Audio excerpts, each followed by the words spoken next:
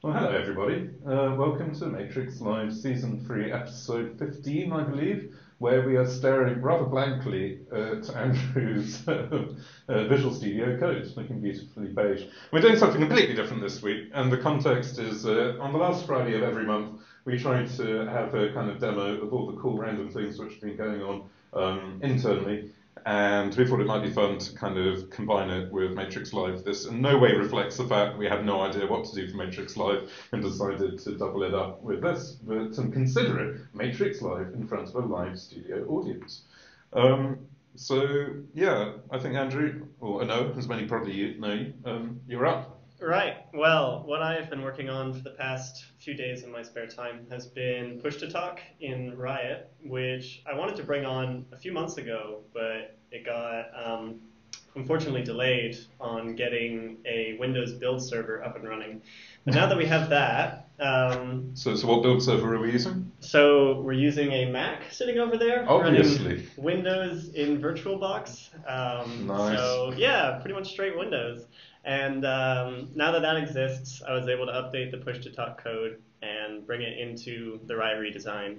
So that's currently what you'll see. Um, the UI is still back from old Riot, so expect it to not be great looking. Um, but like, it's just a little ugly thing in a beautiful shell. So, you know, um, yeah, should be uh, hopefully completed the new UI um, soon after this, but just for demo purposes, we're going with the old one. So when you say push to talk, what are we talking about? Good point. So push to talk, um, which applications like Discord and Mumble have, um, and TeamSpeak, is basically where you can set up a shortcut on your computer, um, and when you're in game or doing something else other than looking at Riot, um, you can click this shortcut and it will broadcast your mic, and then when you release the shortcut, your mic will cut off. And this is really useful for um, big conversations with a lot of people when you just want to unmute yourself, um, possibly while you're working, uh, only when you need to say something. So a lot of communities have come to us and said that they use this and they use this currently in their existing applications and they really want it in Riot. So that's why we're why we're implementing it. So I mean, so for context, this is really literally real-time broadcast to a group voice conference. It's not recording uh, a voice message and chuck it into the room as an attachment. Yeah, Which is the thing that everybody gets confused about this. Right. Okay. So my definition of push to talk in Discords and other ones um, is in a real-time conversation. So since we have Jitsi as our conferencing software, um, this integrates with Jitsi, and you'll notice a new field in the voice and video. Um, yeah, UI is still a work in progress, but you can enable this push to talk feature and you can go ahead and set an actual shortcut for it. So I can set as many keys as I want on this shortcut. Um, Literally, um, and simultaneously, this is shift oh, headbang your home row. And also, I have i3, which has Alt as open a terminal. so yes, um, so let's go ahead and set a sensible shortcut and hope my computer can handle many terminals open. Yes, right. so shift Control Alt Delete or something? Or? Yeah, that sounds good. At least it's not Windows. So we go ahead and set our Shift X as our shortcut. And then I'm going to set up a Jitsi conference in this test room. So give it a minute, and here we have Jitsi. We'll go and join. I put we're Jitsi over Jitsi, and many Jitsi's deep can we nest? Let's find out. Right. So um, right here is my conference. So by default, the um, whether the mic is enabled or not depends on what your Riot setup. By default, we have it as enabled, but we could go ahead and switch that if we'd like. But if I go ahead and hit my Shift X shortcut, you should see Yay. the UI gets there, yes, the mic turns on. If I let go of it, the mic turns off. Now, normally this isn't that notable, but when you have um, one of the big issues with implementing this was getting it to work outside of Riot.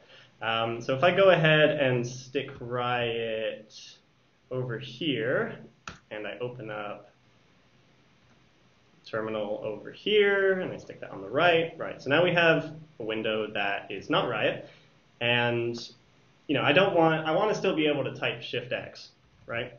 So uh, what you'll notice is when I do so, like my mic turns on and off, and you can see it just here. Um, yeah, So push to talk works even if you're in another window. And it does that doing uh, using a native node module, which is why we had to uh, build natively on Windows rather than just cross-compiling, which is what we normally do. So this is insanely cool. So you're basically gaming away on your amazing rogue-based, um, text-based adventure, rogue-like, I should say, on the right-hand um, side, and it's picking up keyboard shortcuts and changing your mute in real time. Yeah, exactly. So Um, basically, you've turned Riot into one of the world's biggest um, keyloggers imaginable. Yes, now it is important to note that it only logs your keys when you have this enabled and when you're in a Jitsi conference. So And it only enabled, does the keys which you've defined, right? Yeah, exactly. Um, and by default, it's set in Electron's config. So even if there's an XSS, we can't change this. Um, it can only listen to one key shortcut at a time. So you can't just log arbitrary keys. Cool. Yeah, So that's my demo. That was you. cool. And I, I think honestly that's going to make the Discord crew um, very, very I hope happy. so. A lot of people have been asking for this, and it'll be really nice to actually finally get it out there. I'm sure there's going to be some crazy alternative use case for it. Some random sub community of Matrix people who desperately need push to talk to coordinate their search and rescue or their, um, I don't know, remote keyhole surgery. Or Honestly. I have no idea, but this is why we do it for those random people. So. Yeah. Cool. Any questions from anybody? We actually got remote people.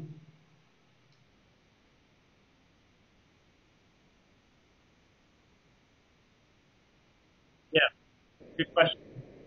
Good question. So the problem was um, we were building this on Mac OS, but to actually build this native node module, you have to build it natively on the platform. So to support Mac and Linux and Windows, you have to actually build Riot on Mac and Linux and Windows. And currently, Riot was mostly just built on Mac OS because it was all in JavaScript, so it could be done so.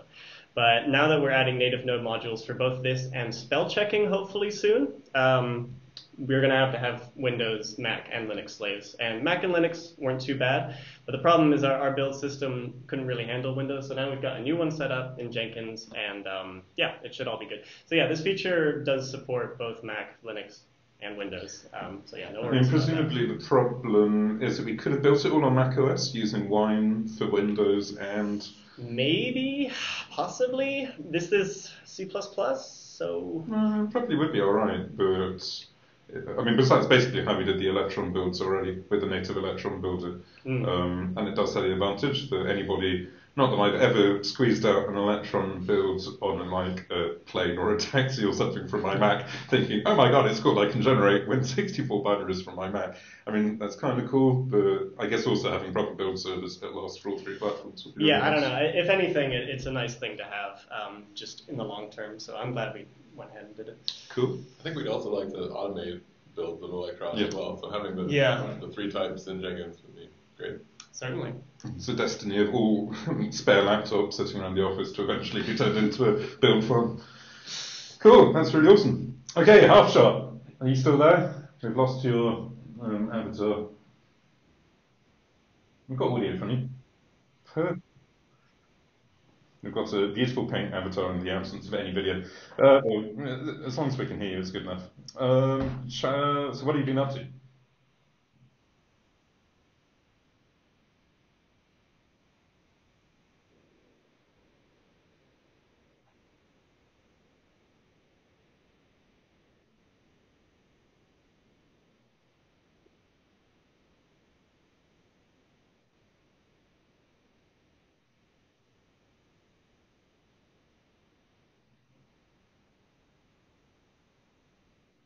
Indeed. Oh, let me go and switch to HQ. So um, I'll go and try demoing it um, from here. Um, here is my actual like Riot um, account here. And you can already see people messing around with XMPP on it. And so, yeah, just to reiterate, I mean, we've been doing a lot of demos of the XMPP bridging, and each time we've got a little bit more. But this one really is cool. So you've got Half-Shot there on the XMPP side talking in um, to Riot, and you can see he has this beautiful XMPP um, base Jabber ID, which has been encoded into uh, MXID. Um, but what's it look like from the um, XMPP side? If I look at Adium, ah, Adium eventually joined. So here we go. So this is literally um, Adium, which is the Mac OS version of Pidgin, basically, um, showing what this looks like with Matrix HQ with however many thousands of users in it. It's like 5,000 users. There is a small chance Adium might have crashed for about 10 minutes whilst it joined the room. But now that it's in the room, we've even got membership stuff, and I can uh, wave from Adium. And let's see whether that manages to get through or not.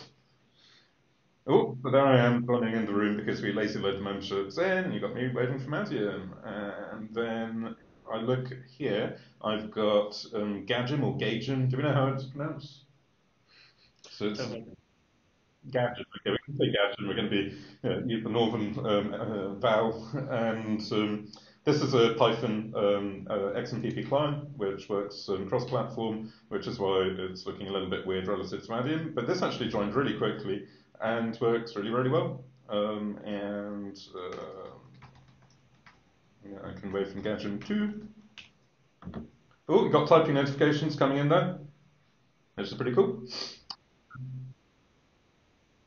Let's see what happens if we go and try to join somewhere new. So join a group chat, and the way the syntax of these things from XMPP is let's try matrix dev. What can possibly go wrong is that you do hash matrix dash dev and then a hash rather than a colon, and then an at, um, and then the, that was cool. And the server is bridge.xmpp. Yep, there we go. I don't. Let's get rid of my ugly surname and hit join, and let's see. The race is on. Somewhere out there, there's a little bridge. Let me go over to the matrix dev here, and we've got um, somebody talking about the totality of all software ever written. Come on, you can do it. Are there any Bifrost logs we can look at? Shall I go? Really? Mm. But,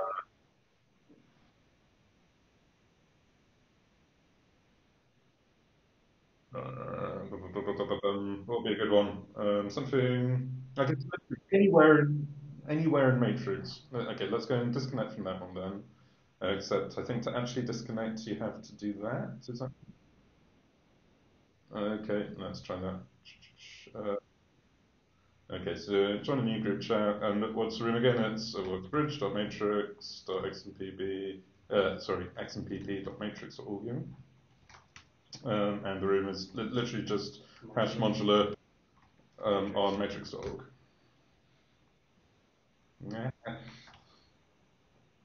Okay, let's try this one. Never do live demos. Never work with children.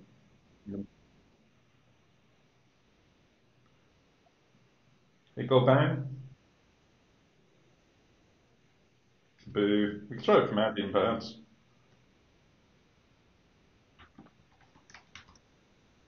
That's right. Okay. Let's see whether that one's any happier.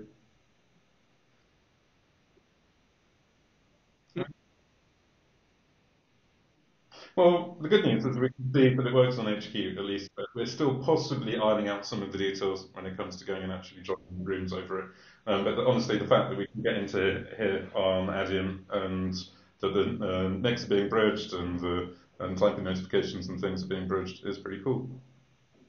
Um, cool. Any questions about um, any of this from anyone?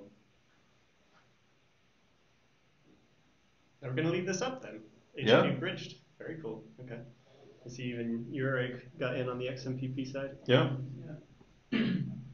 Um, so yeah, I think we should leave it up. I mean, it's not an official service. They're complaining about the memory. Oh, because we've got so many people on the room. Oops. Well, it's well. Oh well, Person who wrote this thing. I think so. Cool. Well, um, congrats, Half-Shot, on getting this together. And obviously, we need to find some way to make it a little bit more reliable on joins, but the fact that people are getting in shows that it can work to some extent.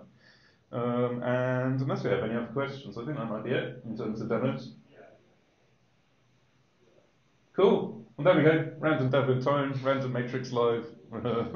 Everybody have a wonderful weekend. Thanks for tuning in. Have a great day. Bye.